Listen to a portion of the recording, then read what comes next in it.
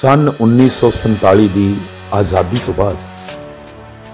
ਪੰਜਾਬ ਦੀ ਵਾਗਡੋਰ ਕੁਝ ਸਿਆਸੀ ਤੇ ਕੁਝ ਪੰਥਕ ਲੋਕਾਂ ਦੇ ਹੱਥਾਂ ਵਿੱਚ ਆ ਗਈ।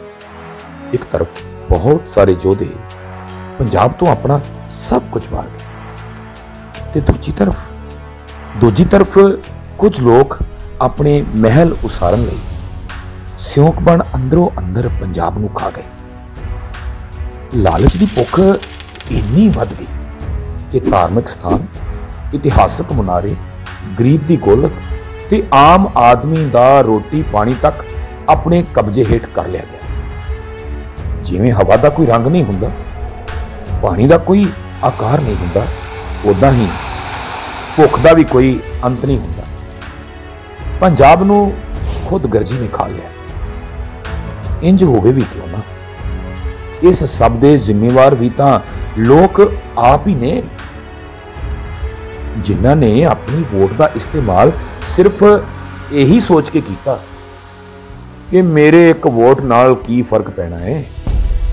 ਖੈਰ 2021 ਮਾਹੌਲ ਕੁਝ ਠੀਕ ਹੋ ਰਿਹਾ ਲੱਗਦਾ ਹੈ। ਹੂੰ, ਗਰੀਬ ਘਰਾਂ ਵਿੱਚ ਵੱਡੇ ਵੱਡੇ ਘਰਾਂ ਦੇ ਲੋਕ ਆ ਜਾ ਰਹੇ ਨੇ। ਸਕੂਲ ਰੰਗ ਰੋਗਨ ਹੋਣ ਲੱਗ ਪਏ ਨੇ। ਉਹ ਮਾਫ ਕਰਨਾ ਸਕੂਲ ਸਮਾਰਟ ਬਣ ਰਹੇ ਨੇ। ਆਮ ਆਦਮੀ ਦੇ ਹੱਕ ਦਾ ਹੋਕਾ ਹਰ ਘਰ, ਹਰ ਗਲੀ ਵਿੱਚ ਹੋ ਰਿਹਾ ਹੈ। ਸਭ ਠੀਕ ਹੋ ਰਿਹਾ ਹੈ। ਸਭ ਠੀਕ ਹੋ ਰਿਹਾ ਹੈ? ਉਹ ਨਹੀਂ, ਵੋਟਾਂ ਆ ਰਹੀਆਂ ਨੇ। ਇਹਨਾਂ ਨੂੰ ਮਿਲੋ।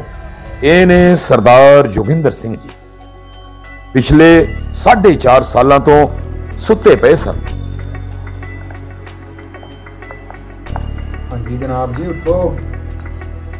ਮੈਂ ਕਿਹਾ ਜੀ 6 ਮਹੀਨੇ ਰਹਿ ਗਏ ਜੀ ਵੋਟਾਂ ਨੂੰ। ਹਾਂ ਯਾਰ। ਟਾਈਮ ਤੇ ਹੋ ਗਿਆ।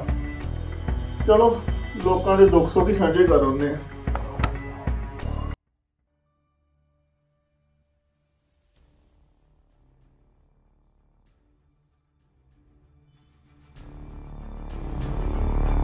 ਹਾਂਜੀ। ਆਪਣੀ ਮੈਨੀਫੈਸਟੋ ਵਿੱਚ ਇਸ ਵਾਰ ਕੀ ਕੀ ਰੱਖਿਆ? ਸਰ ਹਰ ਵਾਰ ਦੀ ਤਰ੍ਹਾਂ ਖਾਲੀ ਆ। ਤੁਸੀਂ ਦੱਸੋ ਕੀ ਕੀ ਦੇਣਾ ਜਨਤਾ ਨੂੰ? ਸਰ ਐਜੂਕੇਸ਼ਨ ਸਿਸਟਮ ਵਧੀਆ ਕਰ ਦਈਏ? ਓਏ ਐਜੂਕੇਸ਼ਨ ਦੀ ਗੱਲ ਤੇ ਆਪਾਂ ਆਪਸ ਚ ਵੀ ਨਹੀਂ ਕਰਨੀ ਕਿਉਂਕਿ ਵਿਦਿਆ ਸਵਾਲਾਂ ਨੂੰ ਜਨਮ ਦਿੰਦੀ ਹੈ। ਉਹ ਜੇ ਲੋਕ ਪੜ੍ਹ ਲਿਖ ਗਏ ਉਹਨਾਂ ਨੂੰ ਤੇ ਸਮਝ ਆ ਜਾਣੀ ਹੈ ਕਿ ਉਹਨਾਂ ਨੇ ਸਾਡੇ ਤੋਂ ਮੰਗਣਾ ਕੀ ਹੈ।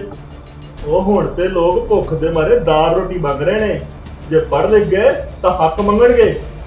ਗਰੀਬ ਬੰਦਾ ਵੀ ਸਾਡੀ ਅੱਖ 'ਚ ਅੱਖ ਪਾ ਕੇ ਵੇਖਣ ਦੀ ਹਿੰਮਤ ਕਰੇਗਾ। ਉਹ ਸਾਨੂੰ ਅਨਪੜ੍ਹਾਂ ਨੂੰ ਪੁੱਛੇਗਾ ਕੌਣ ਤੈਨੂੰ ਕੀ ਲੱਗਦਾ? ਪ੍ਰਾਈਵੇਟ ਸਕੂਲਾਂ ਦੀ ਇੰਨੀ ਵੱਧ ਫੀਸ ਤੇ ਅਸੀਂ ਕੁਝ ਕਰ ਨਹੀਂ ਸਕਦੇ। ਅਸੀਂ ਚਾਹੀਏ ਤਾਂ ਇਹ ਸਕੂਲ ਅੱਧੀ ਫੀਸ ਨਹੀਂ ਲੈ ਸਕਦੇ। ਪਰ ਪ੍ਰਾਈਵੇਟ ਸਕੂਲ ਮਹਿੰਗੇ ਇੰਨੇ ਕਰ ਦਿੰਦੇ ਆ ਕਿ ਮਿਡਲ ਕਲਾਸ ਲੋਕ ਆਪਣੇ ਬੱਚਿਆਂ ਨੂੰ ਚੰਗੀ ਐਜੂਕੇਸ਼ਨ ਨਾ ਦੇ ਸਕਣ। ਬਸ ਐਦਾਂ ਹੱਥ ਅੱਡਣ ਛੱਡੇਗੇ ਐਦਾਂ ਸਰ ਆਪਾਂ ਯੂਥ ਨੂੰ ਨੌਕਰੀਆਂ ਦੇ ਦਿੰਨੇ ਆ। ਜਦੋਂ ਤੂੰ ਆਪਣੇ ਦਿਮਾਗ ਨੂੰ ਜ਼ੋਰ ਦੇਣਾ ਬੰਦ ਕਰ। ਜੇ ਯੂਥ ਨੂੰ ਨੌਕਰੀ ਦੇ ਦਿੱਤੀ ਤਾਂ ਸਾਡੀਆਂ ਰੈਲੀਆਂ ਤੇ 200 200 ਰੁਪਏ ਲੈ ਕੇ ਬਾਈਕਾਂ ਦੇ ਝੰਡੇ ਲਾ ਕੇ ਕੌਣ ਆਉ ਸਾਡਾ ਭਾਸ਼ਣ ਕੌਣ ਸੁਣੂ ਆ ਕੇ? ਜੇ ਸਾਰਿਆਂ ਕੋਲ ਪੈਸੇ ਆ ਗਏ ਤੇ ਅਸੀਂ ਵੋਟ ਕਿਵੇਂ ਖਰੀਦਾਂਗੇ? ਸੁਪਨੇ ਕਿਹਨੂੰ ਵਿਖਾਵਾਂਗੇ? ਕੱਲ ਨੂੰ ਧੋਣਾ ਫੜਨਗੇ ਸਾਡੀਆਂ ਆ ਕੇ। ਸਰ ਜਿਹੜੇ ਲੋਕੀ ਆਪਣੀ ਪਾਰਟੀ ਦਾ ਵਿਰੋਧ ਕਰ ਰਹੇ ਨੇ ਉਹ ਕਿਵੇਂ ਸੋਲਵ ਕਰਾਂਗੇ? ਦੇਖ ਕੋਈ ਵੀ ਕੋਈ ਵੀ ਮੁੱਦਾ ਹੋਵੇ ਉਹ ਦੋ ਤਰੀਕਿਆਂ ਦੇ ਨਾਲ ਹੱਲ ਹੋ ਹੀ ਜਾਂਦਾ। ਉਹ ਕਿਵੇਂ? ਜਾਂ ਤੇ ਉਹ ਮੁੱਦਾ ਹੀ ਖਤਮ ਕਰ ਦਿਓ ਜਾਂ ਫਿਰ ਮੁੱਦਾ ਕੋਈ ਹੋਰ ਸ਼ੁਰੂ ਕਰ ਦਿਓ।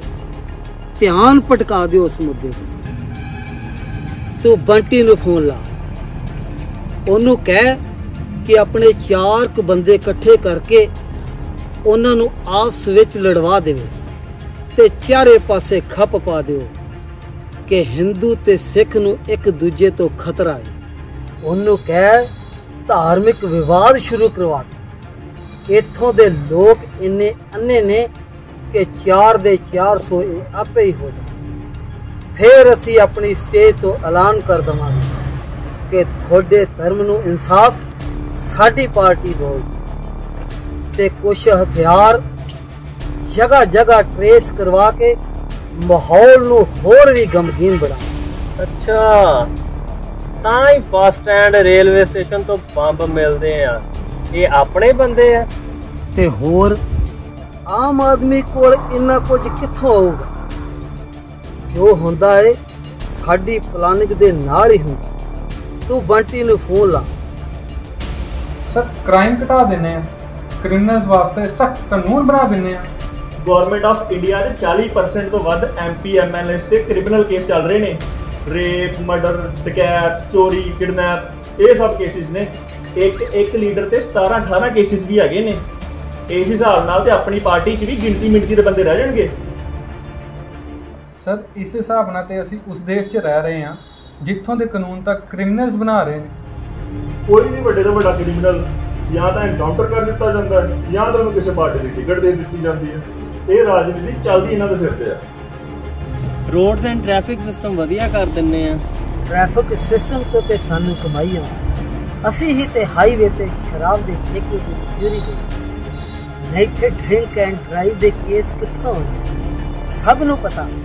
ਪੋਲੂਸ਼ਨ ਸਰਕਾਰੀ ਬੱਸਾਂ ਤੇ ਫੈਕਟਰੀਆਂ ਤੋਂ ਹੁੰਦਾ। ਪਰ ਉਸ ਦਾ ਇਲਜ਼ਾਮ ਅਸੀਂ ਗਰੀਬ ਆਟੋ ਵਾਲੇ ਤੇ ਕਿਸਾਨਾਂ ਤੇ ਲਾ ਨਸ਼ਾ ਖਤਮ ਕਰ ਦਿੰਨੇ ਆ। ਅਸੀਂ ਤੇ ਵੇਚਦੇ ਪਏ ਆ। ਸਰ ਆਪਾਂ ਇਲਾਜ ਫ੍ਰੀ ਕਰ ਦਿੰਨੇ। ਸਾਡੇ ਆਪਣੇ ਪ੍ਰਾਈਵੇਟ ਹਸਪੀਟਲ ਬੰਦ ਹੋ ਜਾਣਗੇ। ਗਰੀਬੀ ਖਤਮ ਕਰ ਦਿੰਨੇ ਆ।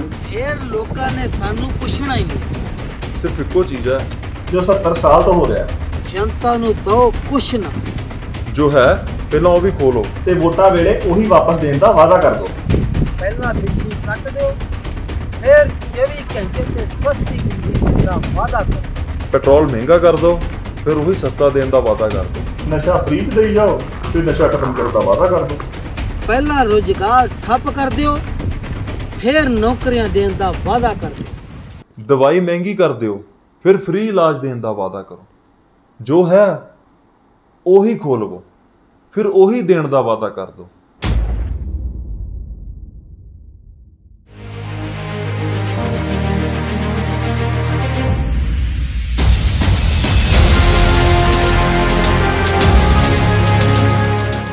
ਤੂੰ ਸਮਝ ਗਿਆ ਕਿ ਨਹੀਂ?